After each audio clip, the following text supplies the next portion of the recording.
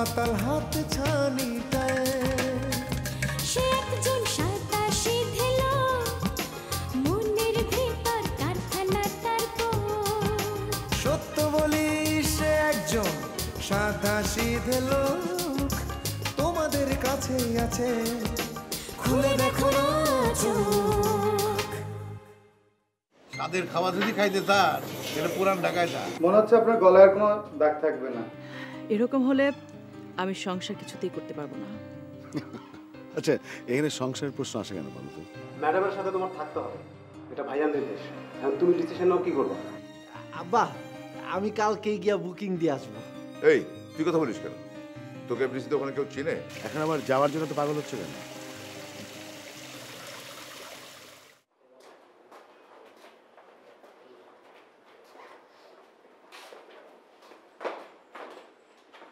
আসসালামু ম্যাডাম।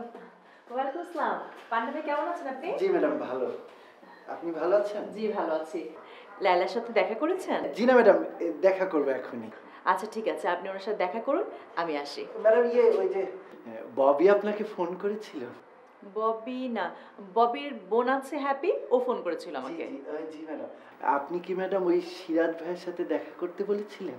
হ্যাঁ বলেছিলাম। আচ্ছা ওদের কি কোনো ব্যবস্থা হলো? আমি ম্যাডাম সিরাজ ভাইকে টোটাল ব্যবস্থাটা বুঝিয়ে দিয়েছি ম্যাডাম। ম্যাডাম বিষয়টা ভালো হয়েছে না? খুব ভালো হয়েছে। Good very good. ম্যাডাম আপনি তো আমাদের বাড়িতে গিয়েছিলেন। মানে তখনও অবশ্য আপনার সাথে কথা বলার সেরকম সুযোগ হয়নি। আপনি শুটিং নিয়ে ব্যস্ত ছিলেন ম্যাডাম। ম্যাডাম এবার আরেকবার আমাদের বাড়িতে আসেন। আপনাকে আমাদের গ্রামটা ঘুরিয়ে ঘুরিয়ে দেখাবো ম্যাডাম। ম্যাডাম আমাদের গ্রামে ম্যাডাম অনেক কিছু আছে দেখার এই যে আমাদের গ্রামে একটা মন্দির আছে ম্যাডাম সাড়ে ছয়শো বছরের পুরানো ম্যাডাম। বাহ! ইন্টারেস্টিং তো। দেখি কখনো সুযোগ হলে যাব। অবশ্যই যাবেন। ম্যাডাম আপনি কি আগের বাসাতেই আছেন? কেন বলুন তো? না ম্যাডাম মানে আপনার জন্য খুব কষ্ট লাগে। মানে আপনার মা বাবা ভাই বোন কেউ নাই। আসলে আমাদের জীবনটা কি বিচিত্র দেখেন তাই না? বাইরে থেকে মানুষকে দেখলে তার ভিতরের কষ্ট বোঝাই যায় না। আমার কোনো সমস্যা হয় না। আমি এভাবেই অভ্যস্ত হয়ে গেছি। তবুও আপনার বাড়িতে একজন থাকা দরকার না? আপনি একা একা থাকবেন ফিল্মের এত বড় একজন আর্টিস্ট এই আপনার নিজের একটা সিকিউরিটি দরকার না ম্যাডাম? আপনি হয়তো জানেন না আমার খালা আমাকে মানুষ করেছে। খালার কাছেই আমি বড় হয়েছি আর দু একদিনের মধ্যে খালা আমার বাড়িতে আসবে। এরপর থেকে খালা আমার সঙ্গেই থাকবেন। ও আচ্ছা। তাছাড়া আমি বেশি গ্যাদারিং পছন্দ করি না। প্রাইভেসি বলতে কিছুই থাকে না। আমি আসি হ্যাঁ? জি। সালাম। ওয়ালাইকুম আসসালাম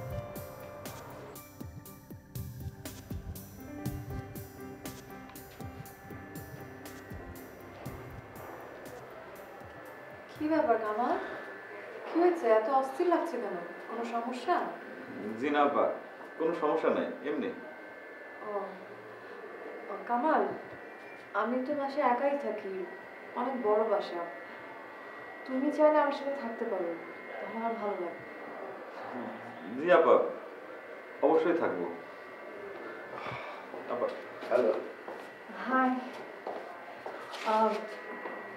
ও হচ্ছে কামাল। আমাদের প্রোডাকশনে কাজ করে। বসো না।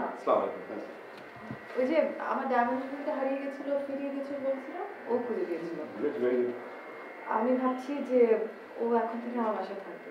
শিওর আপা আমি বাইরে যাই দাঁড়াই।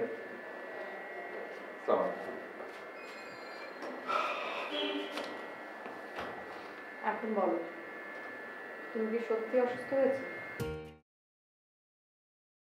আঙ্কেল এইবার নিয়ে ঢাকা শহরে আপনি কতবার আসছেন? তা তিন চারবার তো হবেই। প্রত্যেকবারই কি ছত্রধর আপনার সাথে সাথে ছিল? আমি যখন প্রথম ঢাকায় আসি তখন ওর জন্মই হয় নাই। তখনও সে পৃথিবীর আলো বাতাস দেখে নাই। এইবারই তার প্রথম ঢাকা শোনা আপনি কি ঠিক করেছেন? ঢাকা শহরে সব জায়গায় ওকে সাথে নিয়ে ঘুরবেন? কেন? ও তো সবসময় আমার সাথেই থাকে। কোনো সমস্যা হয়েছে? না সাথে সাথে থাকলে কোনো সমস্যা নাই কিন্তু এই ছাতি ধরে থাকলে সমস্যা আছে। কি সমস্যা? বিস্তারিত বলো। ঢাকা শহরের ছেলে পেলে খুব দুষ্ট তো। দেখা যাবে কদিন পরে বলবে আপনার ঘোড়া কই হাতি কই? হেই ভালো কথা মনে করছ তো? আরে ঘোড়াই চড়ে ঢাকা শহর ঘোরার আনন্দই আলাদা। তুমি একটা ঘোড়া জোগাড় করো বুঝছ? আমি ঢাকা শহরটা ঘোড়ায় চড়ে ঘুরে হ্যাঁ শোনো এটা নান্নারে বলার দরকার নেই। বিটুইন ইউ অ্যান্ড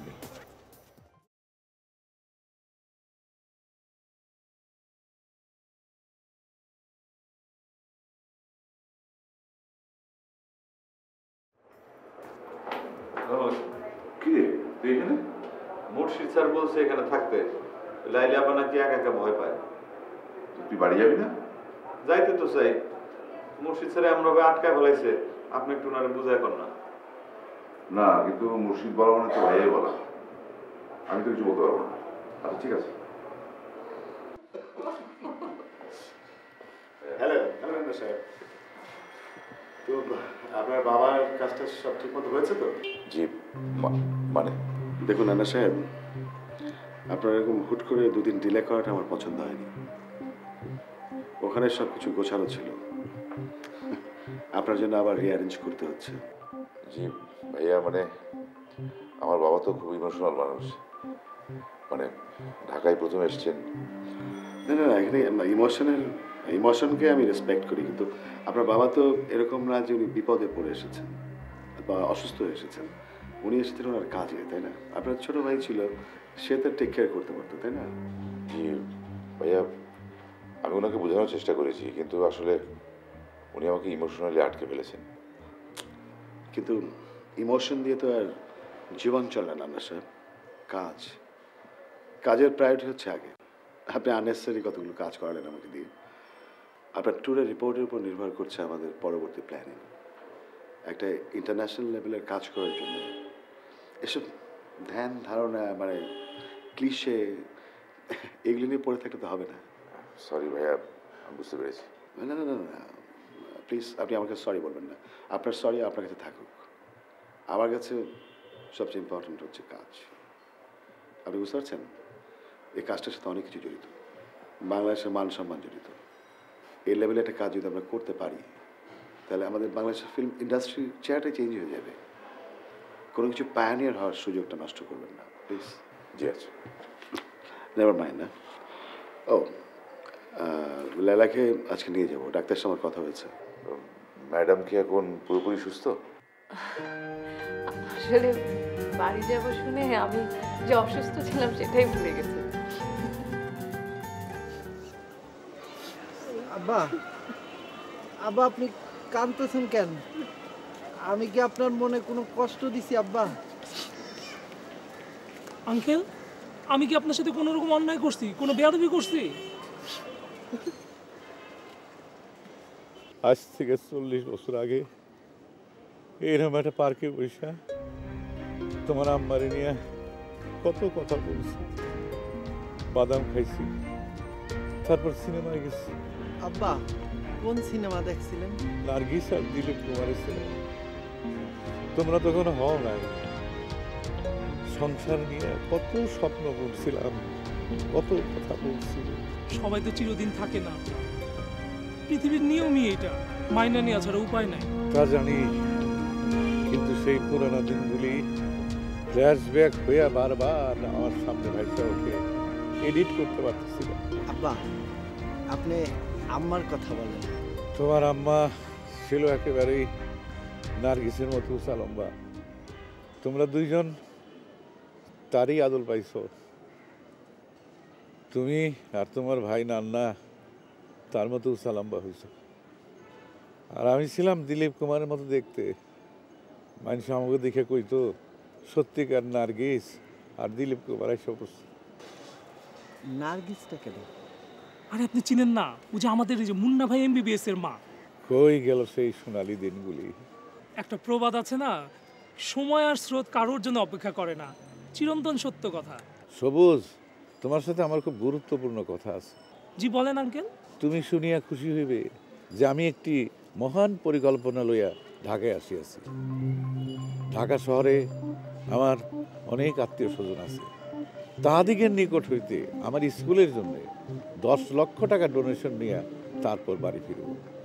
এই এই মহান কর্মে তুমি আমাকে সাহায্য করিবে। আপনার এই মহৎ কাজে অবশ্যই আমি আপনার সাথে আছি। আমি জানিতাম তুমি থাকিবে সেই জন্যই তোমাকে বলিলাম। আন্টিও নাই নার্গিস দিলীপ কুমারের ছবিও নাই আপনার সেই সোনালি দিনও নাই কিন্তু বাদাম আছে। চলেন আমরা সবাই মিলে বাদাম খাই আর সোনালি দিনের কথাগুলি আলাপ করি। বন্ধ বলো নাই। যাও বাদাম নিয়ে আসো।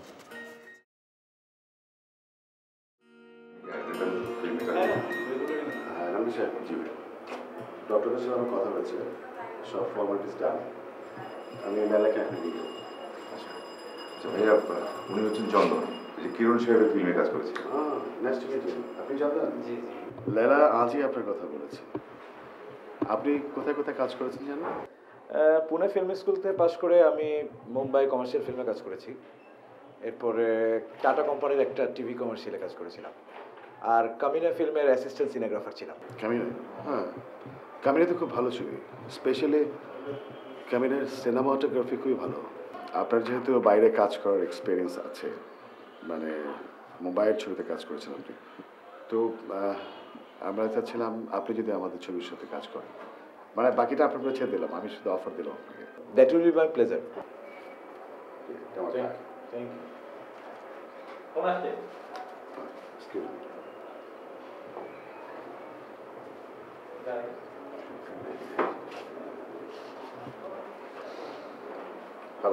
আপনি নিশ্চয়ই এখন হসপিটালে শোনো আজকে লাইলাকে রিলিজ করতে হবে। আর তুমি তো জানো আমি ছাড়া ওর তো আর কেউ নেই তাই না? আমি আপনার ব্যাপারে খুব কনফিউজড আমি আপনাকে বুঝতে পারি না।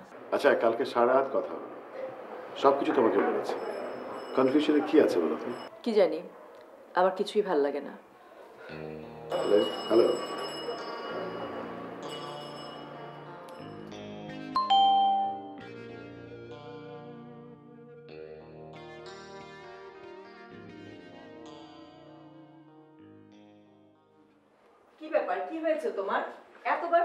একেবারে তাড়াহুড়ো করে ঢাকায় চলে আসলে? বলব বলব। আগে আমার এক গ্লাস ঠান্ডা পানি দিয়ে দিন এত মানুষ ঢাকা শহরে কলিজা শুকাই একেবারে কাঠ।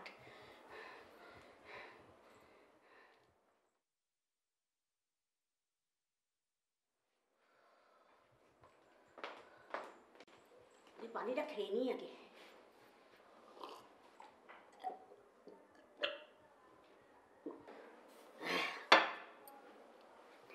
আমি তোর বিয়ে ঠিক করেছি।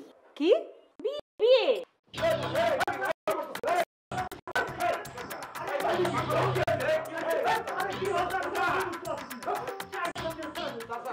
চাচা কি হয়েছে আপনি না করে জিনিসপত্র ফালাই দিতেছেন কেন? কিছু না কয়ে মানে বহুবার তোমাকে ওয়ার্নিং দিছি। মাগার আমার কথা তোমরা কানে লাও নাই কে? আজকাল ছাড়ুন না। ক্রিমিনালের লোকজন হালা বহুত খাতারনাক। সুযোগ পাইলে পিছলে বাচ্চা। চাচা আমাকে দুইটা দিন সময় দেন। অহন আমরা কই যাব? রাস্তায় ঘুরন ছাড়া তো আর কোনো উপায় থাকব না। রাস্তায় থাকো আর গুলশান বানাই থাকো এইটা দেখার টাইম নাই আমার। আমি আমার বাড়িটা বলাপাড়া দিয়ে দিছি। কালকার থেকে ওরা কাম ধরবো। চাচা আমাদের আর একটা দিন সময় দেন। আমরা একটা বাড়ি খুঁজে পাইলি আমরা সব চলে যাব না। কেল্লা অহন সময় চেয়ে বেলাইছে কেলা? দুই মাস আগের থেকে ওয়ার্নিং দিছি কানে হাম দেয় নাই? চাচা আমাকে ভুল হয়ে গেছে। শেষবারের মতো আমাকে একটা সুযোগ দেন। হ কাকা আমাকে দুটো দিন সময় দেন। কোনো সুযোগ সুবিধা দেওয়া যাব না।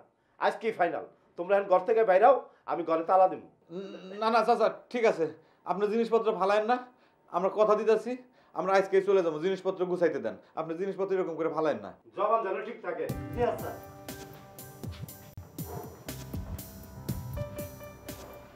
আচ্ছা বাড়িতে যাইতে চাইছিলাম। নায়িকাবার কাছ থেকে ছুটি নিয়েছিলাম কিন্তু বিপদ তো আমার পিছন ছাড়ে না। কি আর করবা? কুরিয়ার করে টাকা পাঠায় দাও। আমার তখন জান প্রাণ দিয়ে বাসা বোঝার লাগবো। হয় রে ভাই বিপদ আর আমি আপন মায়ের পেটের ভাই কেউ কাউকে আমরা ছাড়তে পারি না। কাল ভাই শোনো আমরা আগে একটা বাড়ি খুঁজে পাই তারপর তুমি দেশে যাবে এত চিন্তা করছ না আল্লাহ জানে কপালে কি আছে। নাও জিনিসপত্রগুলো বুঝো চলো তুমি চলো। আর কি কি ফালাইছে কই? আমি সারা তোর আর আপন কেডে আছে বল? তোর বয়স হয়েছে। ভালো একটা জায়গায় তোর বিয়ে শাদী হবে এইটাই তো আমার শেষ চাওয়া নাকি? ভালো একটা ছেলের সাথে তোরে বিয়ে দিতে পারলে আমি মরেও শান্তি পাবো। তুমি আমাকে কোলে পিঠে করে মানুষ করেছ। আমার ভালো তুমি চাইবে এটাই স্বাভাবিক। কিন্তু আমাকে না জানিয়ে তুমি আমার বিয়ে ঠিক করেছ এই কাজটা তুমি ঠিক করনি। তোর মা তো মরে গিয়ে বেঁচেছে। আমার তো ভাষায় দিয়ে গেছে।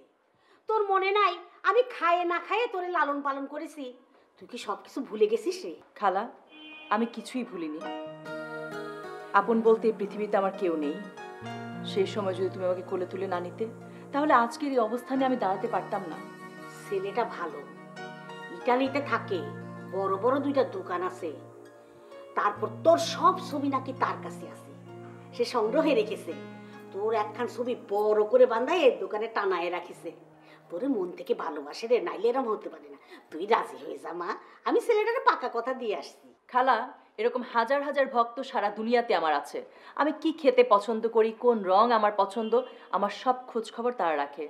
আর ওই যে বললে না, ছবি টাঙিয়ে রেখেছে? এরকম হাজার হাজার ছবি অনেক ফ্যানই তার বাসায় টাঙিয়ে রাখে। তাই বলে কি আমি তাদের সবাইকে বিয়ে করব? অমন কথা করছিস কেন? তুই কি বুঝতে পারছিস যে আমার দুইটা সাওয়ালে নিয়ে আমি আর পারতেছি না? তোর সাথে এই ছেলেটার বিয়ে হলে আমার সাওয়াল দুটো ইটালি নিয়ে যাবে। তুই আর অমত করিস না মা। আমি পাকা কথা দিয়ে ফেলেছি। তার মানে তোমার ছেলেদের জন্য তুমি আমাকে বিয়ে দিতে চাইছো? আমার ভালো মন্দ তোমার কাছে কোনো বিষয় না? এভাবে কেন কান্নাকাটি করছ? আমার প্রশ্নের উত্তর দাও তুমি। আমারে ভুল বুঝিস না তোর ভালোর কথা চিন্তা করে আমার সাওয়ালকে ভালো কথা চিন্তা করেই তো আমি এই চিন্তাটা করেছি। তুই আর অমত করিস না মা। আমি দুনিয়ার কয়দিন থাকব ক? তুমি কেন বুঝতে পারছ না খালা? তোমার এই অযৌক্তিক প্রস্তাব আমার পক্ষে মেনে নেওয়া সম্ভব না।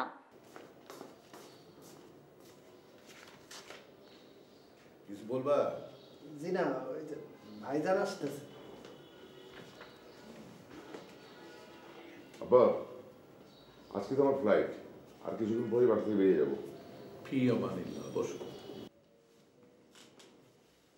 আব্বা আপনি এমন সময় আসলেন আপনাকে নিয়ে বাইরে কোথাও বেরোতে পারলাম না ঘুরতে পারলাম না। তোমার দরকার হবে না। সিরাজের সাথে আমার কথা হয়েছে ক্যামেরাম্যানের সাথে আলোচনা করিয়া আমি বান্নার কাজ বন্ধ করে দিয়েছি। না কিন্তু আব্বা এটা আপনি কেন করেছেন? মানে আপনি কি চান যে সারা জীবন ও আমার ঘরে বসে বসে খাক? ওর নিজের তো একটা জীবন আছে। বাবাকে সাহায্য করাও একটা বড় কাজ একটা মহৎ কাজ হ্যাঁ? তুমি যখন বিদেশ যাইতেছো সেখানে তোমার অনেক বাঙালির সাথে দেখা হইবে। তাদেরকে এই আমার স্কুলের ফান্ডের ব্যাপারে আলাপ আলোচনা করি। হয়তো তারা সাহায্য করিতেও পারে। আবার আপনার যা খুশি তাই করেন। মানে পান্না তো আমার মুখে চুনকালি দিয়েছে। এখন আপনি এসে শুরু করেছেন। না না তুমি কিন্তু ভুলিয়া যাইতেছো যে তুমি তোমার বাবার সরু কাজীর সাথে কথা কইতেছো। কথার মধ্যে আদব লেহাজ রাইখা কথা বইলো না না আব্বা কিন্তু আপনি আমাকে না জানিয়ে পান্নার কাজটা বন্ধ করেছেন কেন? মানে সব কিছু একটা নিয়মকানুন আছে না? আব্বা আপনি কিন্তু কাজটা ঠিক করেননি। তুমি আমার নিয়ম কানুন শেখাও না হ্যাঁ? বিদেশে যাইতেছো মন মেজাজ ঠান্ডা করে শান্ত হয়ে যাও। আব্বা এটা তো গ্রামের বাড়ি না এটা তো ঢাকা শহর এখানে তো চাইলেই সব কিছু ইচ্ছে মতো করা যায় না।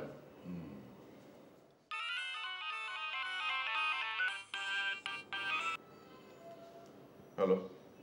হ্যাঁ হ্যাঁ ঠিক আছে। হ্যাঁ আমি আসছি আমি আসছি। আজকালকার ছেলেমেয়েরা বাবাকে সম্মান করতেও শেখে নাই। হ্যাঁ মনে করে আমি কিছু বুঝি না হ্যাঁ? আমি কিছু জানি না। বিদায়ের সময় সালামটা পর্যন্ত করে গেল না। আব্বা সালাম আলাইকুম।